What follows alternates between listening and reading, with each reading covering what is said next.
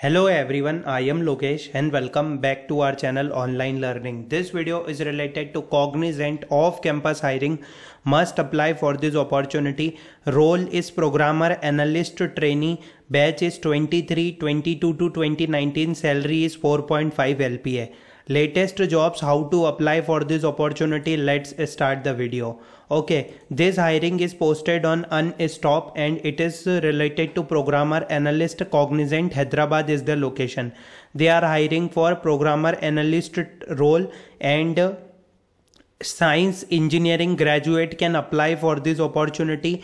Means b btech okay bca bsc you can apply for this opportunity they just mentioned as well as you can have a must skill in regularity viva.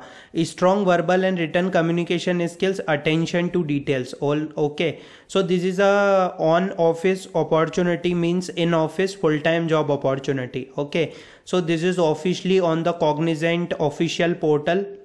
You can apply for the opportunity by click on apply now button.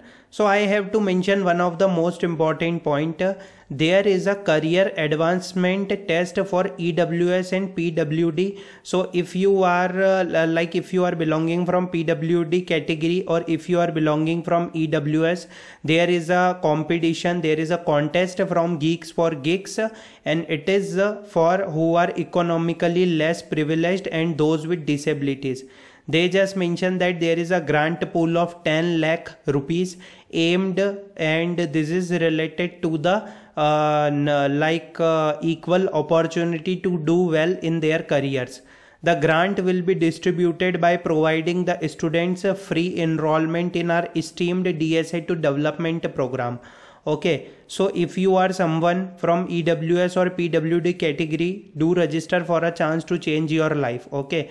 Or if you know someone who is need of this opportunity do share with them so at the time of registration you have to submit your disability income certificate.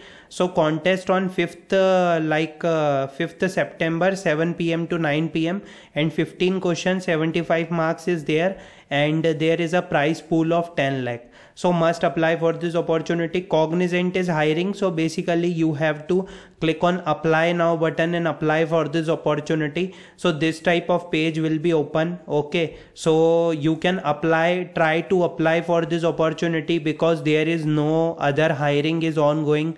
So if the new hiring is in the upcoming month then the 3 month will be completed. I hope this video is useful for everyone. Thanks for watching the video